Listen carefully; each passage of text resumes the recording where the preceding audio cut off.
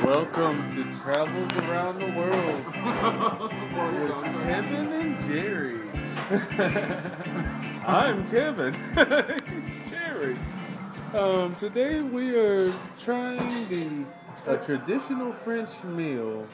Uh, that's what I wanted to try, and that's what we did.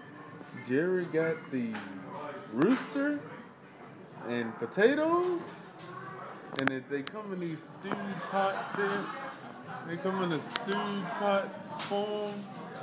Uh, and I got the beef, stewed beef and potatoes. And, uh, and uh, so far everything is okay. You know, it doesn't hurt to try new things.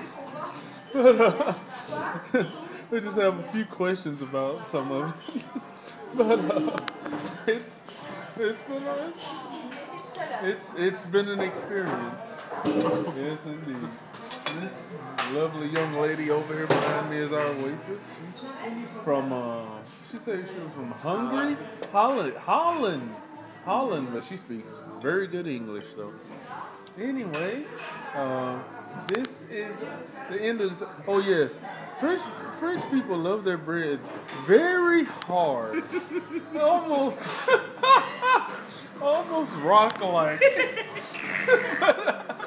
but, but it's okay though, you know. I'm, I'm grew an extra set of teeth in, and we gonna finish it. See you guys in a couple weeks. This ends our episode of uh, Travels with Kevin and Jerry.